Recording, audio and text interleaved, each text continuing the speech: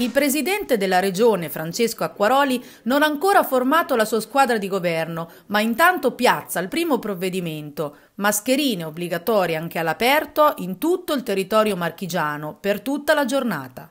Una decisione che di fatto allarga lo spettro temporale di una misura già prevista a Pesaro, ossia l'obbligo di mascherina in caso di assembramenti dopo le 18, che il sindaco Matteo Ricci aveva già introdotto nei mesi scorsi per contrastare la movida nei locali durante il fine settimana. Un provvedimento che trova d'accordo anche gli esercenti e il segretario della Confcommercio Davide Ippaso. Il problema è che non, eh, non ci auspicavamo minimamente di, arrivare, di ritornare indietro nel, eh, ad aprile maggio del, di quest'anno il problema più grosso è quello dei pubblici esercizi, che non sappiamo se chiuderanno alle 22 o alle 23. Chiudere un 22 alle 23 un pubblico esercizio serale vuol dire togliergli almeno il 40-50% dell'incasso.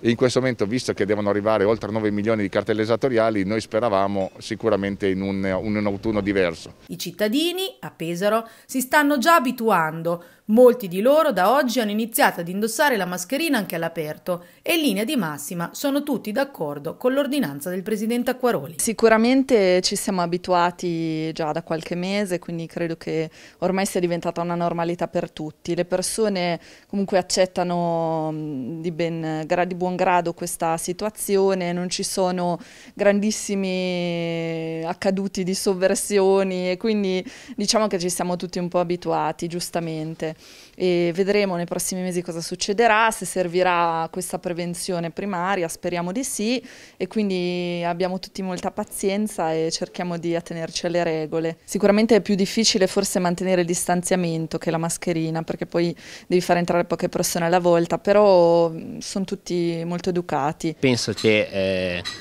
il decreto sia giusto, sia la soluzione migliore diciamo in questo momento, ce l'avrei fatto sinceramente dall'inizio penso che sia il metodo migliore per contrastare il Covid. Nella giornata di ieri diciamo, stato, si, ci ha messo molto alla prova perché comunque molte persone, qualcuno non lo sapeva. Chiaramente bisogna stare attenti soprattutto con i ragazzi, sempre redarguirli perché eh, tanto sappiamo che il problema è quello, no? soprattutto con i più giovani.